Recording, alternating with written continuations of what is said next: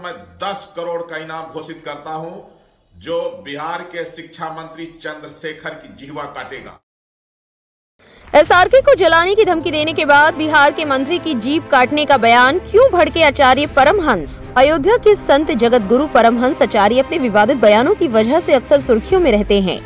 जिन्होंने कुछ दिनों पहले पठान एक्टर शाहरुख खान को ज़िंदा जलाने की धमकी दी थी। अब वो बिहार के शिक्षा मंत्री चंद्रशेखर की जीप काटकर लाने वाले को 10 करोड़ रुपए देने का वादा किया है, जिन्होंने रामचरितमानस को लेकर हाल ही में टिप्पणी की थी।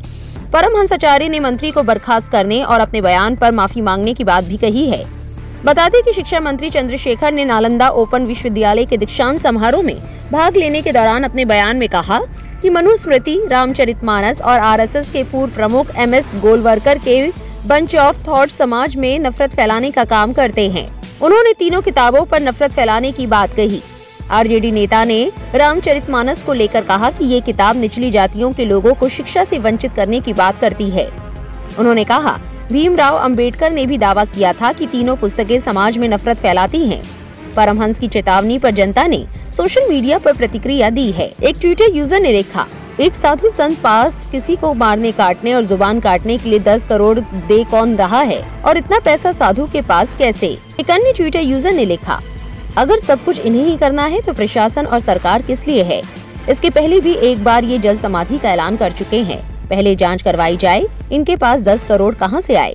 अश्विनी कुमार नाम के ट्विटर यूज़र ने कहा अपराध करने के लिए प्रेरित कर रहे ऐसे अपराधी पर कड़ी से कड़ी कानूनी कार्रवाई करनी चाहिए। रजत सिंह नाम के यूज़र ने लिखा, सोचने वाली बात इस बाबा पर 10 करोड़ कहाँ से आए?